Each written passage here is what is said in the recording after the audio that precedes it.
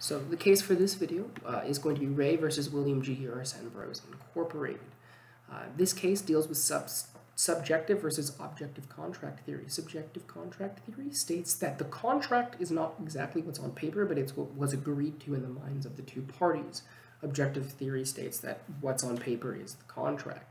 Subjective theory has its merits in the sense of it makes sure that nobody can sign into a contract they didn't actually need to agree to, objective theory makes it so that you can't back out of a contract by lying and saying this is what I assumed when it was not correct. So in this case, a construction corporation agreed to put forward an estimation for the construction of a house, and then that ultimately evolved into a bid that was then signed by both parties. However, the contract that was ultimately signed was not the one that had been sent by the construction company to the uh, plaintiff, but the one that the plaintiff's lawyer had sent back to them, which had been modified, including a change to the specifications, but both parties signed it. Now, in contract, it refers to a five-page specifications that was made by the lawyer, whereas in their mind, it referred to the three-page specification that they had drawn up.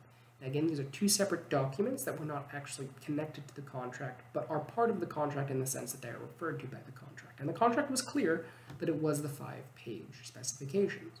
However, the uh, company did not want to build to those specifications after they realized what they had, what the specifications were. Um, the Rays filed suit and claimed that they wanted them to make up the difference, uh, whatever would cost to go to a different company. Uh, and they did. They were forced to pay the excess costs, uh, the, co the construction company, because they agreed to do what was on the paper. Um, now, we should ask a question, why do they have to pay money rather than just build the house?